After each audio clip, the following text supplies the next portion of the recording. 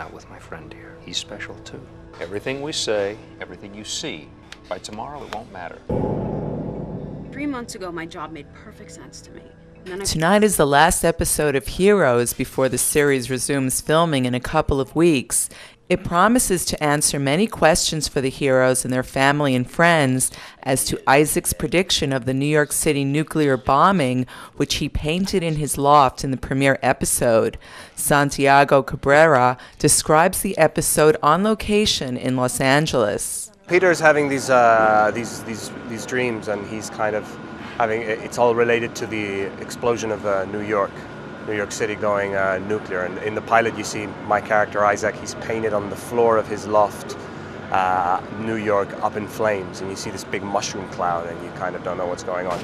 The other characters and heroes begin to realize the consequences of their powers in tonight's episode, including Ali Larter, who plays the good and evil sides of her character, Niki and Jessica Sanders. that's really where my character has to come face to face with her alter ego. And it's can get really it's really complicated it's difficult it's painful it has to deal with my son.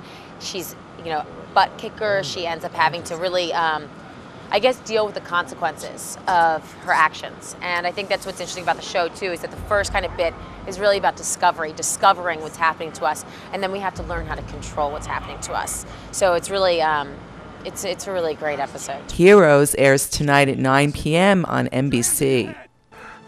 What are you doing? You're lucky to be alive. It's not luck.